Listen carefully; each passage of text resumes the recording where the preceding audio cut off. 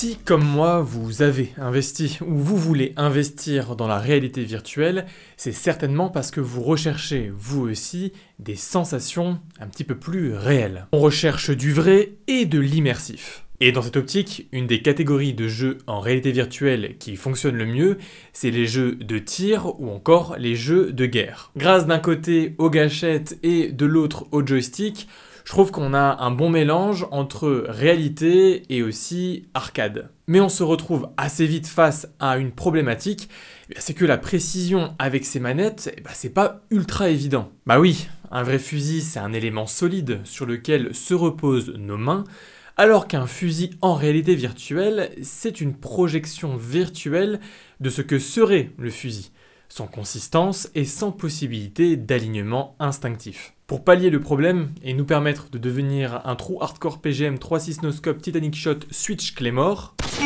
3D Horizon a trouvé la solution. Une gamme de supports de manettes simulant une arme à feu pour un usage fluide et immersif. J'étais sceptique, mais quand même curieux. Je me suis donc permis d'obtenir toute la gamme pour vous en faire un test et vous présenter un petit peu les différences en fonction du prix et surtout savoir si ça vaut le coup. Dans tous les cas, restez jusqu'à la fin pour savoir si oui ou non ça vous plaît, puisque je vais vous donner un code promo qui va vous permettre quand même de faire de belles économies. Et au passage, un petit like et un abonnement, c'est toujours appréciable pour le référencement. Bon, la gamme de 3D Horizon, c'est une gamme assez simple car elle est composée d'une base commune, mais avec plusieurs ajustements en fonction du prix.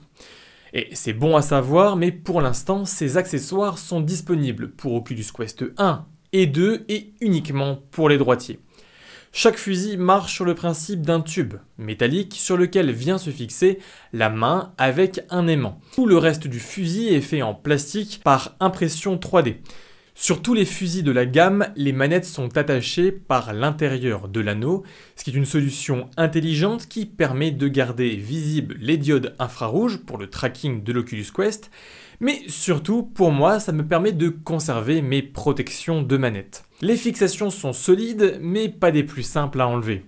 Des petits crochets pour pincer plus facilement le plastique et faciliter le retrait serait vraiment un plus. Le manque de fluidité dans l'installation est suffisamment présent pour quand même se poser la question lorsque l'on lance un jeu en réalité virtuelle. Parce que si vous vous allouez un petit moment réalité virtuelle, bah, entre votre partie de golf et votre match de boxe, si vous prenez un petit peu de temps pour faire un petit jeu de tir comme Pavlov, 5-10 minutes, bah, ça pose quand même la question de savoir est-ce qu'on a envie de faire toute cette installation pour si peu de temps. Bon, dans tous les cas, j'ai quand même les trois produits en face de moi, ce qui va me permettre ici bah, de bien vous présenter les différences et l'intérêt de chaque modèle.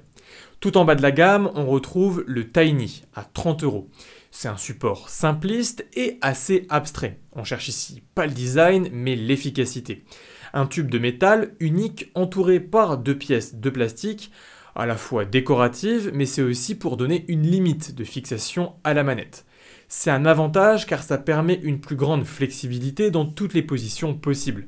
Du fusil lourd au petit pistolet mitrailleur, mais on n'a pas de blocage latéral. Ça rend l'utilisation facile, mais pas extrêmement ergonomique. Alors on est quand même bien plus précis en jeu, mais la manette avant a tendance à bouger un peu trop. Et puis, métal contre métal, eh bien, le mouvement de la manette a tendance un peu à rayer le tube métallique.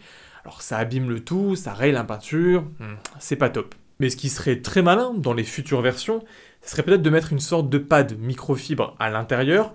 Ça empêcherait pas eh bien, le côté aimanté et ça éviterait de rayer tout le tube métallique. Dans tous les cas, l'usage est agréable et le fait de pouvoir dissocier la main avant tout en ayant un canon très léger rend l'utilisation assez fluide. On détache la main avant et le fusil se transforme en pistolet. Et on peut chercher les chargeurs ou encore son arme de poing sans difficulté. Par contre, refixer la manette aimantée demande quand même un petit temps d'adaptation car on reste dans le noir et il faut une bonne perception de son espace pour retrouver ses marques. Sinon, vous allez quand même passer de nombreuses secondes à tâtonner dans le vide.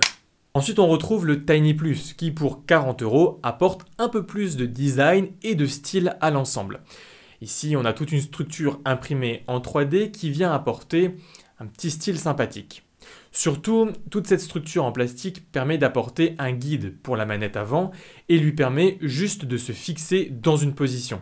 Ça bouge beaucoup moins, c'est plus précis, tout en ayant les mêmes avantages de légèreté et de praticité que le Tiny standard. Moi personnellement, c'est vraiment la solution qui m'a convaincu. C'est un bon compromis car c'est quand même assez léger, ça me permet d'être assez polyvalent dans le mouvement. Dans cette configuration, même si c'est un peu long, eh bien ça peut tout à fait faire office de pistolet. Et c'est globalement une légèreté qui me permet un peu ben, de naviguer dans l'interface Oculus et de continuer à faire ce que j'ai à faire, notamment dans le navigateur ou encore sur quelques jeux, sans pour autant être obligé de tout retirer. Par contre, attention, si vous décidez de garder toute l'armature sur d'autres jeux, c'est possible, notamment sur des jeux de golf, mais évitez quand même, parce que si c'est trop violent, ça risque de faire une pression trop importante sur l'intérieur de l'anneau et de risquer une casse de la manette.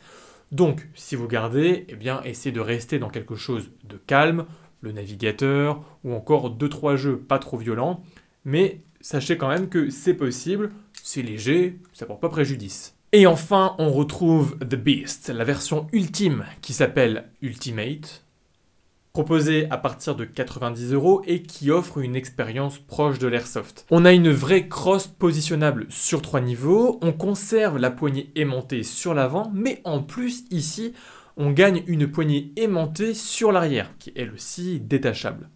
C'est pratique pour conserver toujours les accessoires sur les manettes et on peut clairement les garder H24. Et même mieux, je trouve que ça rajoute un petit poids qui est pas déplaisant aux manettes Oculus. Niveau design, on voit que toute cette impression 3D doit demander un paquet d'heures de travail. Le tout respire quand même la qualité, ça bouge pas et ça ne craque pas. On a un petit élément de déco sympa avec ce viseur classique, mais je vous conseille quand même de le retirer lorsque vous l'utilisez c'est un risque en moins de le casser, puis ça fait une déco sympa à rajouter lorsque vous avez terminé votre session VR. Et en plus, est offert une sangle de maintien pratique car le bébé reste quand même assez lourd. En option, vous pourrez aussi opter pour un support à 10 euros. En fait, ce modèle, c'est vraiment une question de goût. Si vous souhaitez faire de la simulation poussée sur Onward avec votre équipe, et donc vous infligez aussi le poids d'une réplique, même si ici ça reste du plastique, et que vous souhaitez bénéficier d'une crosse pour l'immersion. Et surtout, si vous avez la flemme de passer par le processus de montage et démontage des manettes, eh bien le fusil Ultimate peut être une bonne idée. Mais gardez bien en tête que la précision ne sera pas améliorée par rapport au Tiny Plus et que le tâtonnement à la fixation sur l'avant est ici accompagné par un tâtonnement aussi sur l'arrière. Bah oui, on a deux manettes qui se décrochent, donc deux fois plus d'hésitation. Et moi, personnellement, je trouve le fusil un peu lourd et le double système d'aimant, bien que super ingénieux, il demande une courbe d'apprentissage qui est un petit peu trop longue pour des utilisateurs occasionnels de réalité virtuelle. Mais je sais aussi qu'il y a une grosse communauté de réalité virtuelle qui est fan de simulations assez poussées, et dans ce cas-là, c'est vrai que ça peut être un investissement qui a du sens. Donc, Tiny à 30 euros, Tiny Plus à 40 euros et Ultimate à 90 euros. Dites-moi en commentaire lequel vous intéresse le plus. Et si un modèle vous intéresse, et eh ben allez checker en description, je vous mets un code promo et les détails liés à cette promotion. Et en conclusion, ça fait une semaine donc que j'ai l'occasion d'essayer les trois modèles. Et personnellement, c'est vraiment le Tiny Plus qui m'a le plus tapé dans l'œil. Je trouve l'accessoire vraiment bon marché et il apporte une vraie plus-value niveau expérience. À côté, pour 10 euros moins cher, on a à 30 euros la version Tiny qui peut être une bonne alternative, mais les manettes qui bougent tout le temps trop librement, c'est un vrai frein pour moi. Surtout qu'à 10 euros d'écart, pour moi, le choix est vite fait. Enfin, je considère la version Ultimate comme une version réservée aux aficionados de simulation en réalité virtuelle, où plus de réalisme est synonyme de plus de contraintes. Et puis il y a la question du prix aussi à garder en tête, puisqu'à 90 euros, cette version Ultimate, on peut pas la considérer comme cheap. En plus, elle apporte pas vraiment de gain en précision par rapport à la version Tiny mais elle vous donne quand même un objet assez sympa niveau déco, surtout avec le petit socle à 10 euros en supplément. Et pour le reste, c'est vos goûts et vos choix. Bon, on n'oublie pas de s'abonner et de liker la vidéo, et puis en attendant la prochaine vidéo, eh bien je vous dis prenez soin de vous et restez curieux. Allez, salut